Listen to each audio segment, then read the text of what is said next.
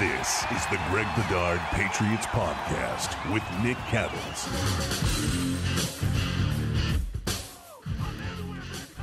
We're live on location. Nick Cattles, Greg Bedard, Greg Bedard Patriots podcast with Nick Cattles on a Tuesday afternoon. We just watched the second padded practice with the Patriots. And Greg, let's first start off with things that we haven't talked about yet.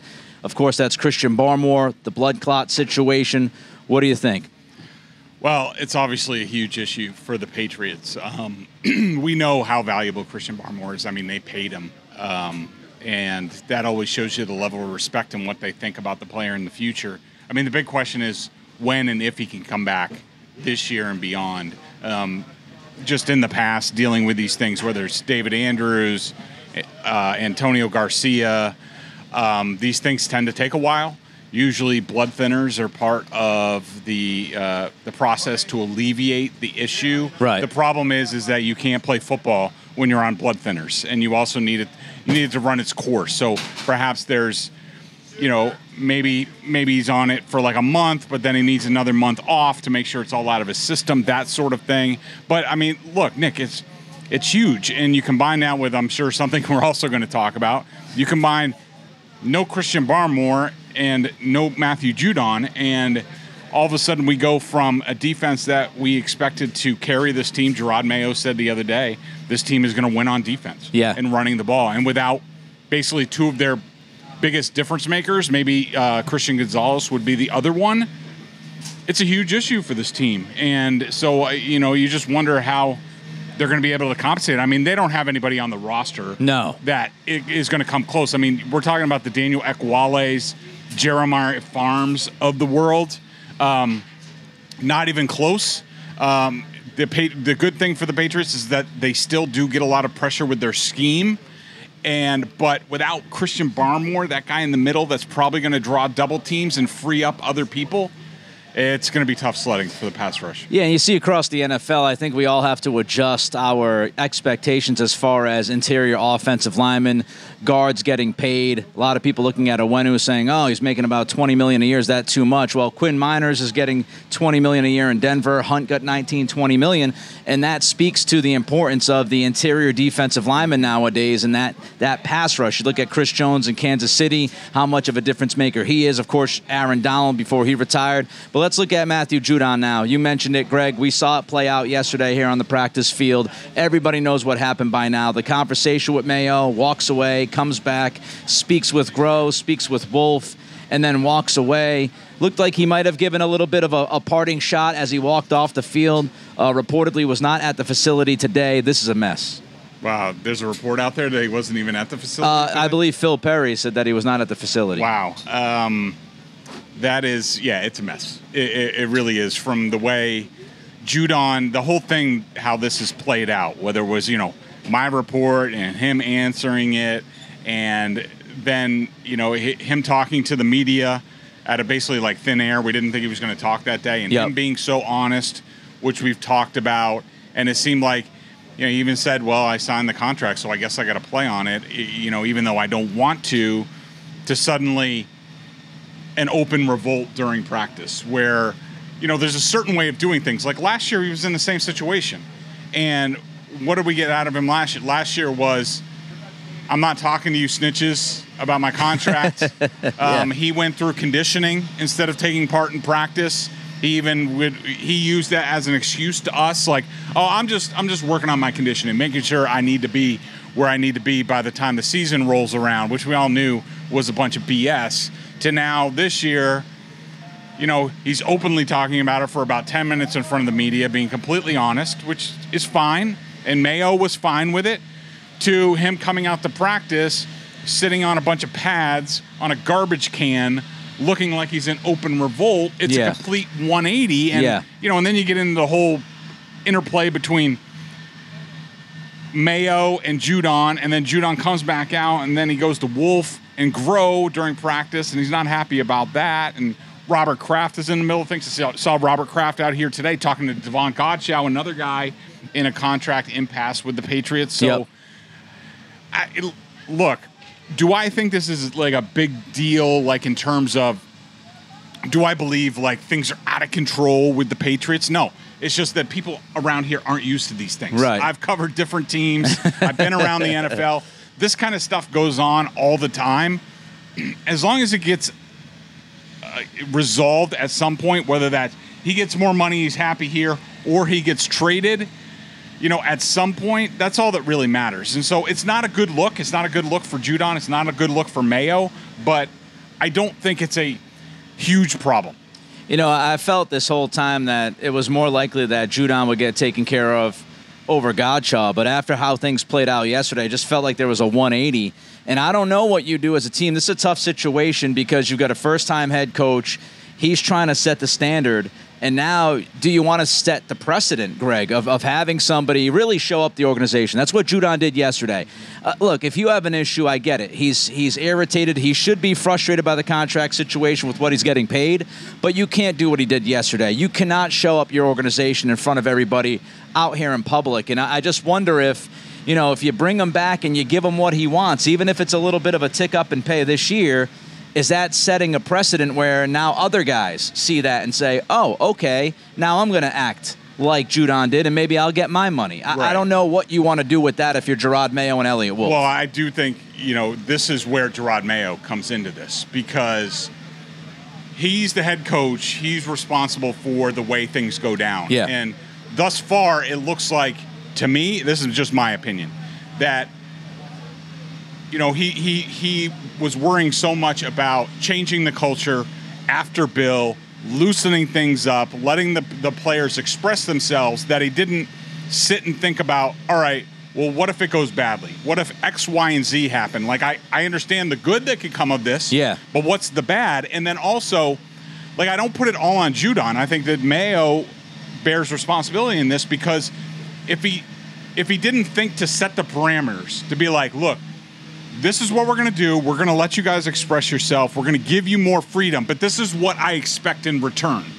And if I don't get it, then I'm going to be pissed. Yeah. And it's obvious that there weren't any boundaries put on this because I, I, I think that Matthew Judon would have respected it. But, you know, who knows? Maybe some people got in Judon's ear and said, especially with Drew Rosenhaus, Davon Godchaux's agent here yesterday, that's usually a sign that Godchaux's going to get taken care of. That's normally how things go with Rosenhaus. He comes in, gets face to face with people, they find a, some resolution, and then Judon hears about that, and he's like, "Now I'm the last one," right. and, nothing's being done. and it looked different to at least to me the conversations that were happening judon it certainly seemed like there was a little bit uh, of an irritability Yep. between the sides after practice i saw Godchaux speaking with you know rosenhaus. First rosenhaus spoke with matt groh. It was right in front of me. He speaks with groh. Groh walks away. Godchaux comes up.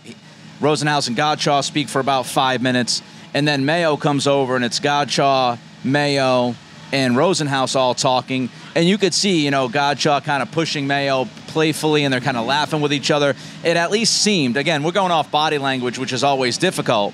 I think we understand the Judon thing now since he's not here today.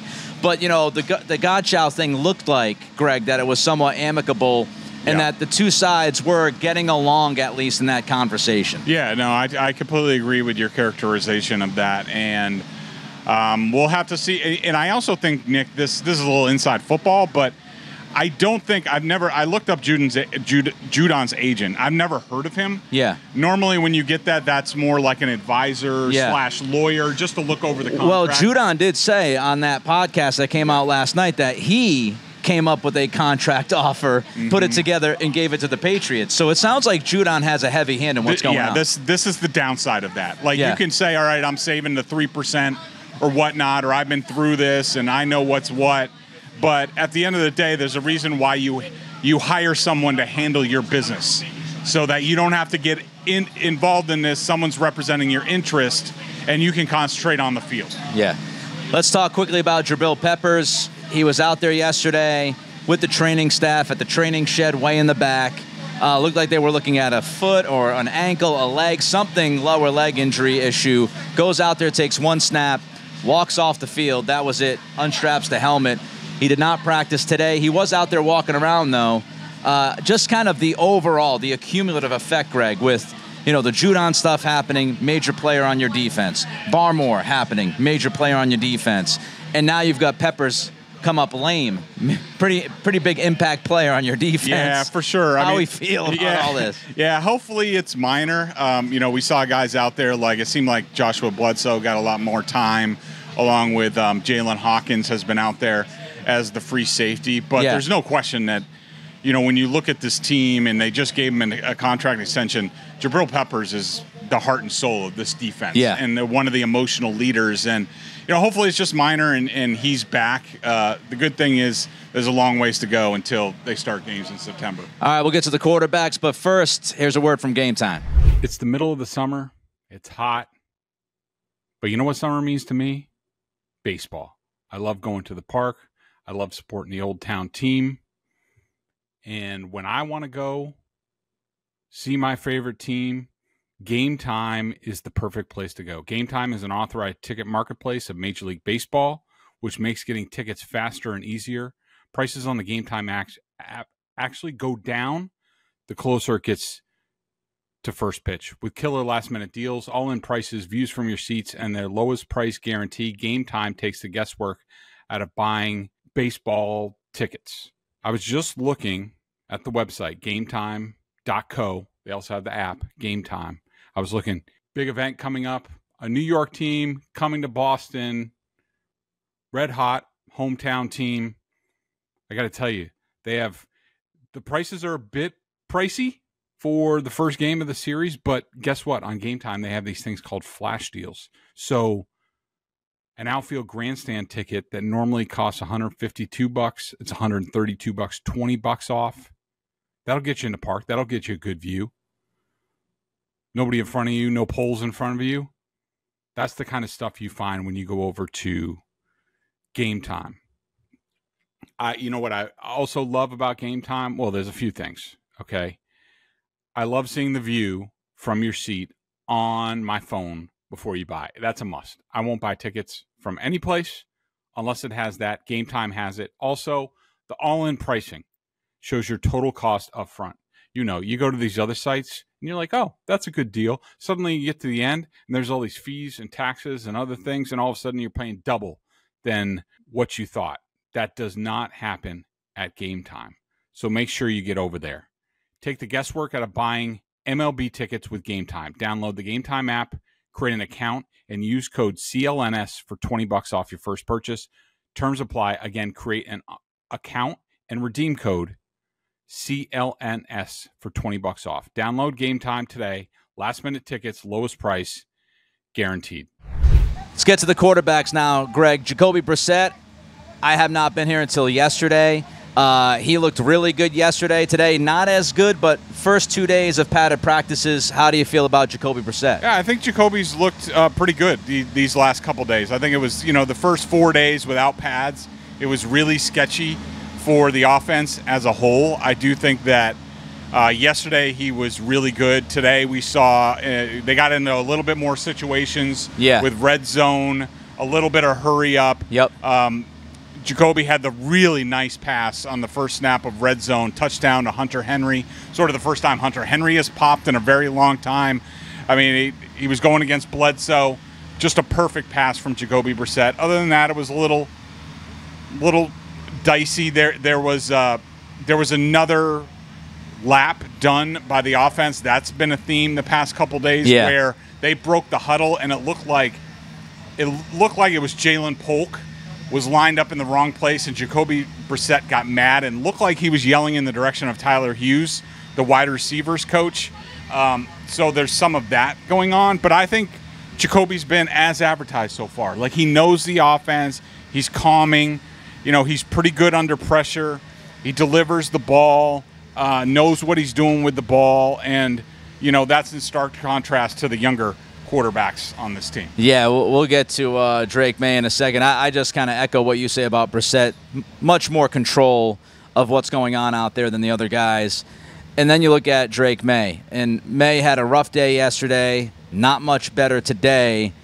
Has not been uh, has not been great for the rookie in the last couple of padded practices, Greg. Yeah, I, I this is sort of three straight down days for for Drake Maye today. In the main team period, he was one of six and had a fumbled snap with Antonio Mafi. Now, I will point out, even though this is no excuse for him, even though people on Twitter love to use it as an excuse. Yes, he is working with the backup line. Mafi's a train wreck. Yes, and he He can't snap the football, which seems to be important when you're a center. yes, he he he has been a train wreck. He is every shotgun snap is an adventure. Um, Everything's at so what Greg's talking about is literally every shotgun snap is at the shoestrings of Drake Maye. He has to go down and get it, head. or yeah, it's over his head. Yeah, and this is a byproduct of David Andrews has missed the last two practices. Yep. So Nick Leverett is now the starting center. Antonio Mafi, because Jake Andrews is on PUP, is not out here. It might be time for them to sign some sort of center Yeah. somewhere to come in because this is getting ridiculous. Now, it's no excuse for Maye. And No. what I've seen out of Maye, especially today, and it really came home in that main team period where he's one of six he is now at the stage where he is thinking too much. He has rookie brain lock. And look, I'm not overly concerned. He's going to go through this stuff. Um, where he is doesn't make a difference to me. I always, he was going to need to be brought along. Um, did I have the thought today that going up to number two snaps was maybe a little bit too soon for him? Yeah, I had that thought today, but um, I want to see how the kid rebounds, and we'll see how things go. Yeah, a couple things on Maye, and again, this is not to excuse the way he's looked because he he hasn't been good, and he hasn't been good the last two days for sure. But I also think he's not getting much help out there. The offensive line has not been very good. Um, you know, Mitchell Wilcox dropped a couple of footballs for him yesterday that hit him in the hands. So uh, overall, that unit has been a little bit sloppy and well behind the, the first string guys. So I would say that. And also, just a reminder, because I do see people jumping into these grandiose cl- conclusions about Drake Maye. And everybody settle down, everybody take a breath. We all talked about this before the draft. Greg talked about it. I talked about it. Everybody and their mother talked about it heading into that draft, which was Maye is not polished. He's not a polished prospect. He is going to be raw. It's about potential. And drafting Drake Maye to me was more about 25 and 26 than it was about 2024. Mm-hmm. So we have to keep that in mind. It doesn't mean he's going to be great, but you know, the first couple of padded practices, we knew what the Patriots were getting into when they drafted him third. Yeah, you know, without question. And people are overreacting to the comments that I made to Felger and Maz yesterday, where I said Mac. Jo- There's no question Mac Jones was way ahead of where Drake Maye is right now. That is not breaking news. We knew Mac Jones was the most pro-ready quarterback coming out of that draft. He Yep. had been in pro-style offenses. He had been coached by Brian Daboll, Steve Sarkisian, Nick Saban. Played with you know NFL draft picks and an NFL basically the 33rd team in the NFL. Yeah. Alabama at the time had played a lot of football. You know, in high school, um, bided his time at Alabama. Drake has not played a lot of football, but you know, here's the thing about Drake Maye and where he is. Yes, I said that about Mac Jones. Now, a lot of people are just thinking about Mac Jones last year. No, no, no. This is a much different Mac Jones that I'm talking about. And that Mac Jones, as a rookie, was also way ahead of two guys who are going to the Hall of Fame Patrick Mahomes and Aaron Rodgers. That's where Mac Jones was. You just didn't know what his ceiling was. We found out that was about his ceiling, his rookie year. And not to mention, this guy was second in Offensive Rookie of the Year balloting at the end of his rookie season. And so you, you can't compare Drake Maye and Mac Jones. No. And I'm not comparing them. But uh, what I'm just saying is Drake's starting from a much lower point, and it's going to take him time. They just need to build him up the right way. And, you know, we don't know the answer to that. We're going to have to see how this thing goes along. Yeah, I tweeted out earlier today. Uh, you can check it out at Nick C Radio. The Jordan Love stuff from 2020 and 2021. You know, everybody proclaiming that Love was going to be a huge swing and a miss. Dan Orlovsky saying it looks like he was a terrible pick. And, and Jordan Love was very raw and didn't have a lot of football experience. And we mm-hmm. forget Drake Maye's story. You know, the COVID year messing around with his high school season. He only played, you know, two years at North Carolina, switched offensive coordinators from year one to year two. So he's, again, he's raw and he's really young. And there's a, one more thing on that. Somebody tweeted me today a podcast that Tyreek Hill did at one point in time, and they, he was asked Yeah. about Patrick Mahomes, and he was just even Tyreek Hill said as a rookie, Tyreek Hill was like, "This is the guy we drafted." Yeah, said he thought he was trash. Yeah, he thought he was trash, and then he talked about all of a sudden year two, how much improvement coming into year two? It was like night and day. Like that's what. That, and remember, Patrick Mahomes didn't play outside of one garbage start in Week 17. Right. Like the idea is to do what the Chiefs did with Patrick Mahomes, and maybe Drake arrives earlier than that and plays earlier. We will see, but the idea is to let him develop, and it's the future. You're right. 2025, 26, and beyond just making you sure you set the right foundation for him. All right, some rapid fire. I'm Yep. waiting for lunch. I'm starving. So let's get to the offensive line. Looks like they're settled, Greg, for now. Looks like it's Caedan Wallace, left tackle, Sidy Sow, left guard. David Andrews missed the last couple days of practice, but obviously when he gets back, he will be at center. And then you've got Onwenu, right guard, and right tackle, Chuks Okorafor. That's been their five for the last three or four practices. What have you seen? Yeah, I, I think it's looked pretty good. I mean, obviously, getting David Andrews back in the middle will make everybody look a lot better. Uh, Caedan Wallace has not looked like a fish out of water at left tackle. He's done a good job. He's done a good job in one on ones. Uh, Sidy Sow has done a really nice job. Yeah. you know, I like Nick Leverett um, as as a backup center, and he can play all the interior positions. Michael Onwenu has been ridiculously good. He was crazy good yesterday. and he, he he actually did have a loss today against Keion White. That's his first loss in one on ones, but he's been outstanding. Okorafor, I don't know. We're gonna have to Yeah. see. He's been a little bit iffy on the right side. Uh, I don't know if it has to do with you know switching from left to right. Um, I I'm, I would also be interested to hear the rationale between switching them, Wallace and Okorafor. You know, it could be just as simple as you know if you line up Okorafor on the left with Sidy Sow, it's a bit of a finesse left side of the line. The Yeah. right side's more powerful. Yep. By swapping them, you're now more balanced as an offensive line, and it could be as simple as that. But you know, so far, I think I think the returns have been promising. You know, I'm not going to say they're good. They're going to be gangbusters, but you know, I think they've been really good. They've been really good uh, in the one-on-ones. I haven't tallied up today, but yesterday they dominated the defensive line again without Christian Barmore and without Matthew Judon. But they're off to a good. Scott Peters and Robert Kugler so far are off to a good start in pads. Yeah, and the run game looks a, a little bit more together Yep. than than you know past years, especially when they made that switch to Patricia back in 2022. It looks a little bit more together. The run game's been popping a little bit. Just thoughts overall defensively.